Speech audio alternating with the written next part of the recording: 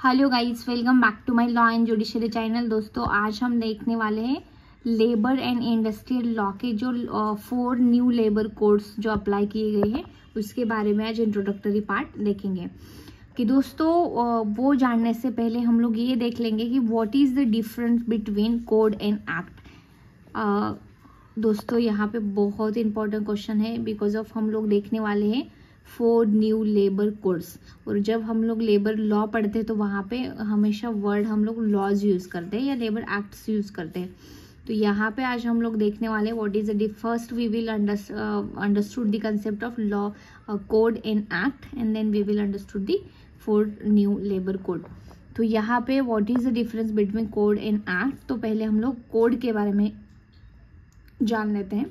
Code is a group of existing laws जो existing laws होते हैं, उनका ग्रुप होता है, उनको कोड बोला जाता है। सेकेंड इंपॉर्टेंट डेफिनेशन यहाँ पे लिख सकते हैं। A code is a collection of rules और ordinance that are systematically organise कि जो कलेक्शन ऑफ़ रूल्स होते हैं ऑर्डिनेंस होते हैं, उनके सिस्टमेटिक जो ऑर्गेनाइज करके एक कोड बनाया जाता है, उसी को ही कोड कहा जाता है। एक्ट के बारे में देख लेते हैं। एक्ट के बारे में दो या तीन इंपॉर्टेंट चीज़ें हैं but before we understood this concept मैं आपको बोल देती हूँ कि एक्ट ऐसे रिफ्लेक्ट होता है coming to the reflection part एक बिल होता है, उसके ऊपर Lok Sabha Rajya Sabha then president and then act come in to the picture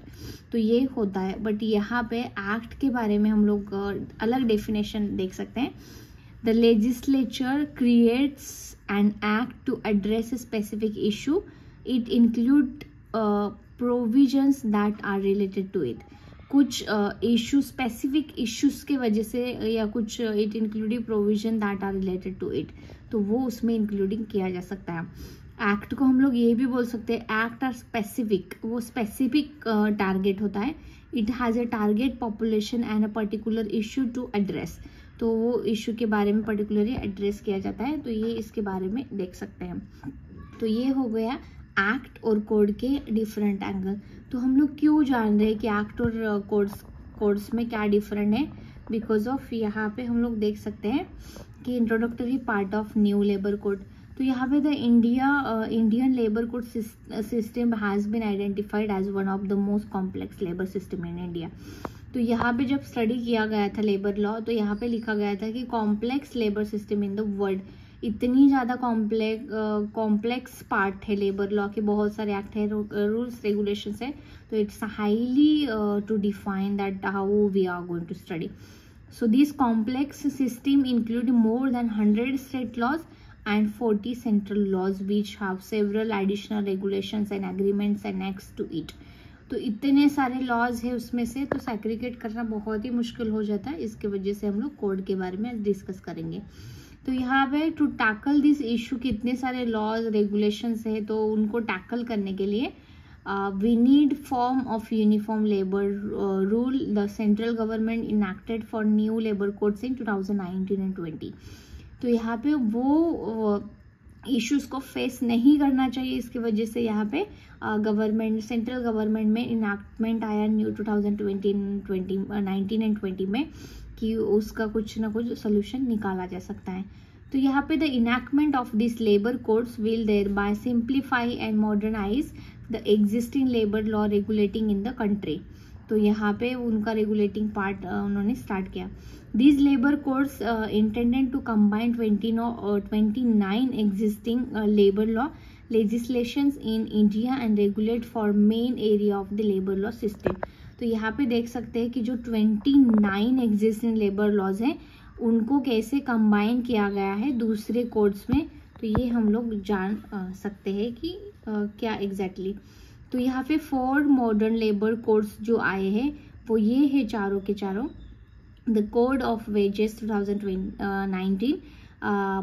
and then industrial relation code 2020 the Occupational Safety, Health and Working Conditions Code 2020, the Code on Social Security uh, Security 2020. तो ये उनके नाम है कि जिनको 29 existing laws में replace किया गया है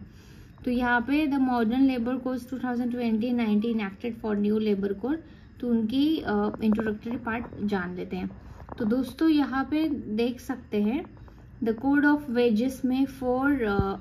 फोर uh, जो एक्ट है उनको कंबाइन uh, किया गया है।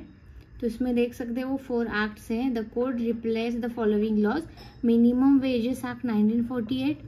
payment of wages act 1936 payment of bonus act 1965 equal remuneration act 1976 तो ये एक्ट उसमें रिप्लेस किए गए हैं और उसका वन कोड बनाया गया है। उसका नाम यहाँ पे दिया गया है the code of wages act दूसरा जो इंडस्ट्रियल रिलेशन कोड 2020 उसमें थ्री एक्ट जो है उनको रिप्लेस किया गया है और उस उसको यहाँ पे नाम दिया गया है। तो रिप्लेस की वो पार्ट जो है out of 29 existing laws the industrial relation code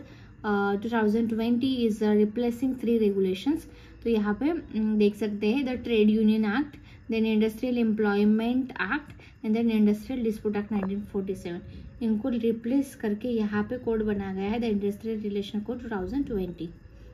then we will dis discuss the uh, the occupational safety healthy and working condition 2020 तो यहाँ पे 13 जो इम्पोर्टेंट एक्ट है उसको रिप्लेस करके ये एक्ट बनाया गया है। उसमें आप फॉर एग्जांपल देख सकते हैं maintenance of health safety in proper working condition and establishment hours of work leaves etcetera तो ये सारी चीज़ें यहाँ पे देखने के लिए मिल सकती हैं। Then code of social security 2020 उसमें नाइन एक्ट उन्होंने रिप्लेस करके एक एक्ट बनाया है। उसमें आप देख सकते हैं regarding social security organisation employees provident fund employees state insurance corporation gratuity maternity benefit etcetera these all are part they are related to this. So this is the introductory part of new labor code. Thank you so much guys. Uh, you can follow the channel and you can get it the information. Thank you